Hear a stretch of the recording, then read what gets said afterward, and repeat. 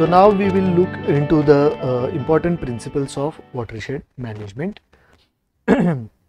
so uh, here I have listed uh, the important principles uh, like uh, utilizes utilizing land according to uh, capability means whatever the capacity of the land according to its um, uh, accordingly the usage should be made uh, within the watershed. Um, without uh, putting any additional burden it should be appropriately managed.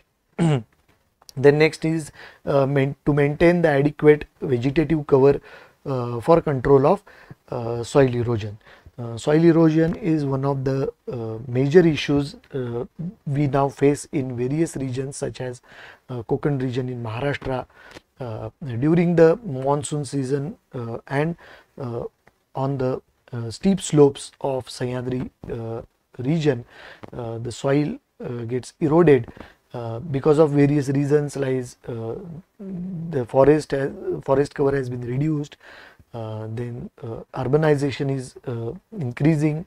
Uh, so there are many issues but uh, so it is necessary that uh, we have to maintain adequate vegetative cover so that the uh, soil erosion problem can be uh, uh, can be controlled. Next is uh, to conserve maximum possible uh, rainwater at places where it falls.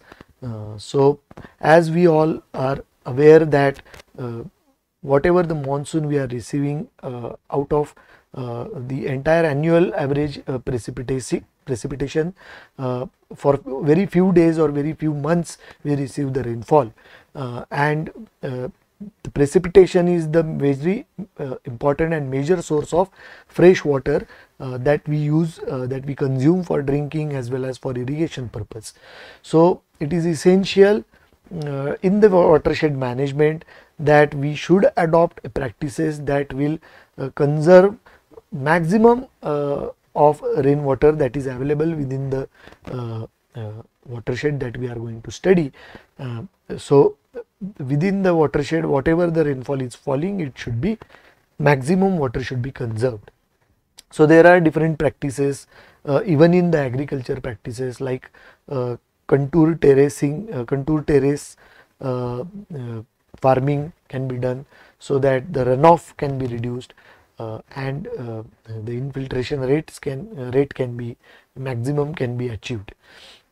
Next uh, point is to uh, to have a drainages uh, of for excess water and store it for future use.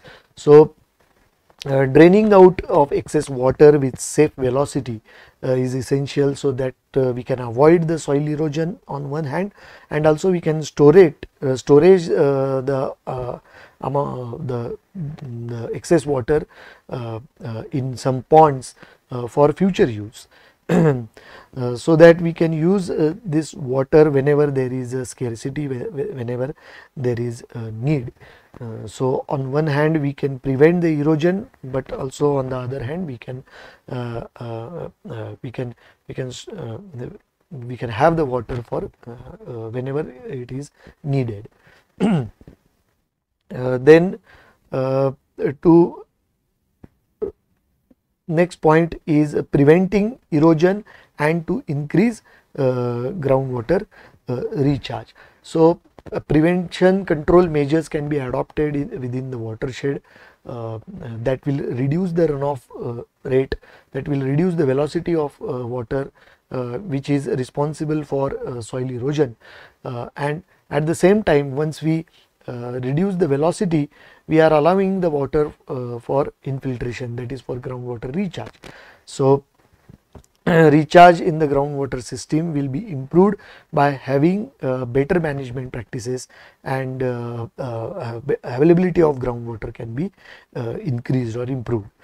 Uh, so uh, and uh, finally uh, the overall management of the available resources uh, in a sustainable way. So uh, it is very important aspect mm, and very most important principle of watershed management. Uh, so various resources like land water, uh, then forest, uh, minerals, uh, whatever the resources which are avail available within the watershed um, need to be considered, need to be managed so that the, we will achieve a sustainability um, so these are some of the important principles of uh, watershed management.